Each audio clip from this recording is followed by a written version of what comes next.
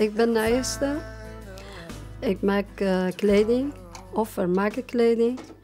Dus kledingreparatie is meestal met eh, verschillende zeg maar, problemen. Is met, eh, als er iets kapot zijn of broeken die lang, te lang zijn. Of kleding die moet kleiner gemaakt worden of groter gemaakt worden. En daarnaast doe ik het andere, eh, andere zaken, zo, zoals eh, workshops. En geef ik ook eh, af en toe naailes. En ja, het is wel zo mensen die heel graag willen wat leren met eigen kleding maken. Wat met sieraden maken, wat met tassen maken, poppen. Ja, het is breien of zoiets. En ja, het is wel eh, allemaal eh, creatieve eh, zaken allemaal.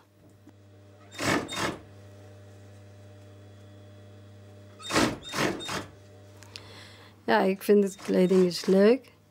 En zit eigenlijk in onze familie. Mijn twee broers zijn kledingmakers. Ja, iets van afwisselende onderwerpen kun je maken. Kun je gewoon zelf eh, eigen wensen brengen. En eh, ja, wat je wil.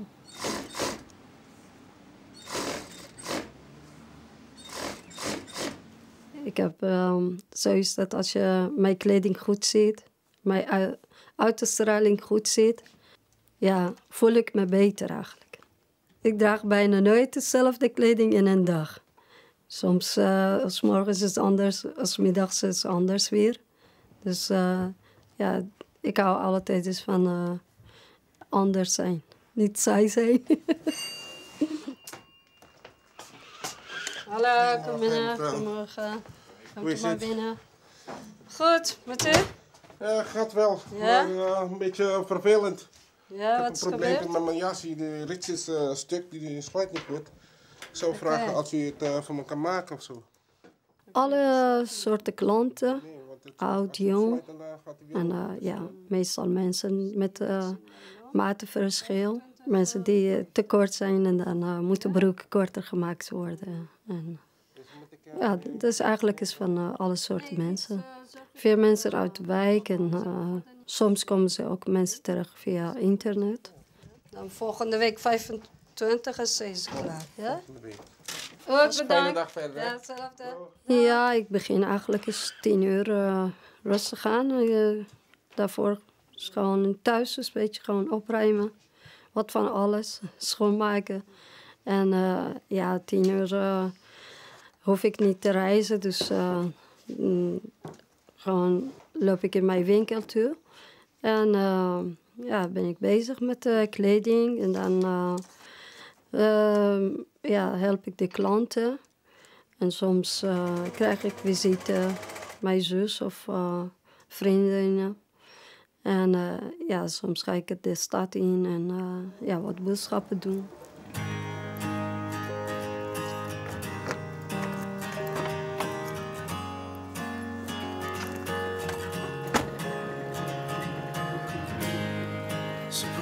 I say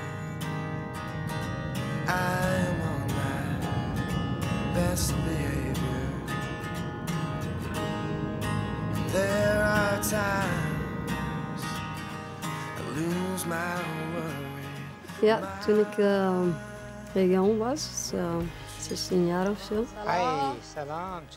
ben ik eh, begonnen met politiek. Ik was lid van eh, politieke partijen, communisme. Dus eh, voor de huidige overheid als uh, Jomri Islami, je mag je eigenlijk niet. Dus sowieso je bij weer gewoon een dossier. Ik wil twee boeken over de vrijheid. Persische boeken. Ja, Iraans boeken. Ik verspreidde ehm, folders en eh, ging ik eh, vaak eh, in demonstratie. En eh, zelf ook heb ik eh, eh, boeken gelezen, veel daarover. Het is pas gekomen. Ja. Het is een Oh, dat vind ik leuk. Ja, dat uh, vroeger gebracht over die boek. Ja. Ja, ja. Oh, die ken ik. Ja? Die liedjes, ja.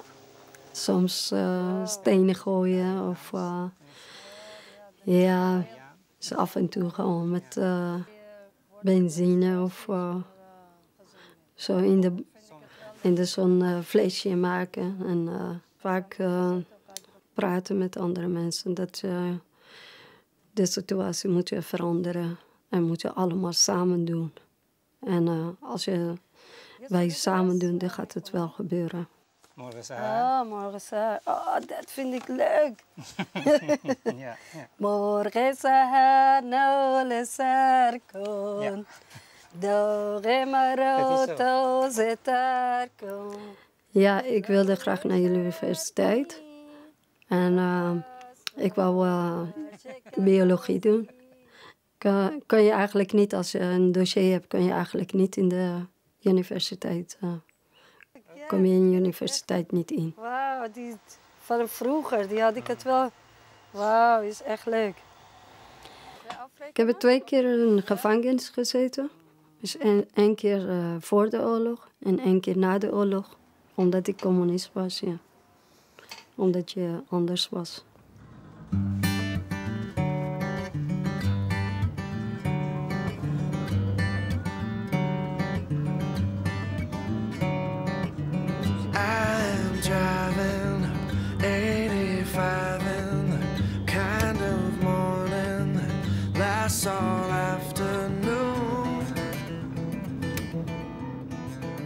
Ik probeer om eh, in de hoogte te blijven wat er gebeurt in Iran.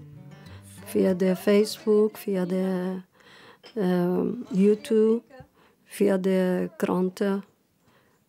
En volg ik de alle nieuws en boeken nog. Over alles, of literatuur of vrijheid. Dat wil ik niet. Alsjeblieft. In Nederland ben ik het eh, rustiger geworden. Want eh, ja, het is, eh, hier mag je eigenlijk je stem uitbrengen. Hoef je niet eh, bang te zijn. Dus van, als je tegen bent. Even bij tante. In Nederland voel ik me vrij. Omdat je mag alles vertellen wat je wil. Dat doe ik ook, ja. Ik ben eh, de laatste tijd die, eh, met demonstratie ben ik het eh, bezig om te volgen of te gaan. En eh, mijn stem uit te brengen aan de wereld. Ik heb... Van Iranse. Ja, van Iranse demonstratie. Ik heb wel mooie foto's meegenomen. Kijk. De films. Ik heb een stukje heb ik gefilmd. Ja? Ik vind het wel belangrijk, omdat je moet altijd samen zijn. Je moet altijd vechten voor eh, wat we willen bereiken. Dagelijks eh, gaan ze veel mensen dood. Omdat eh, ze gaan ze gewoon zeggen dat wij willen dit niet. Wij pikken niet meer. En ja, je moet eigenlijk moet je achter staan. Oh,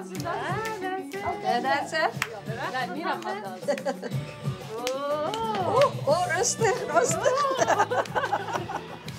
Ja, ik mis Iran. Ik mis mijn familie. Ik mis mijn cultuur natuurlijk. En eh, ja, zou ik het wel eh, terug willen. Maar uiteindelijk vind ik het, eh, ja... hmm, meestal wil ik het ergens zijn dat waar vrij is. Het kan wel eens ooit gebeuren dat het Iran vrij is. Dat eh, mensen een democratie eh, hebben. Maar het zou heel lang duren. Dus eh, het is wel heel moeilijk. Ja, mooi rukje. Ik doe mijn best om, ja, ik wil eigen bedrijf hebben, een heel groot bedrijf met veel mensen. Ik wil gewoon mijn werk eens uitbreiden, steeds eh, beter van maken. Hoop ik eigenlijk.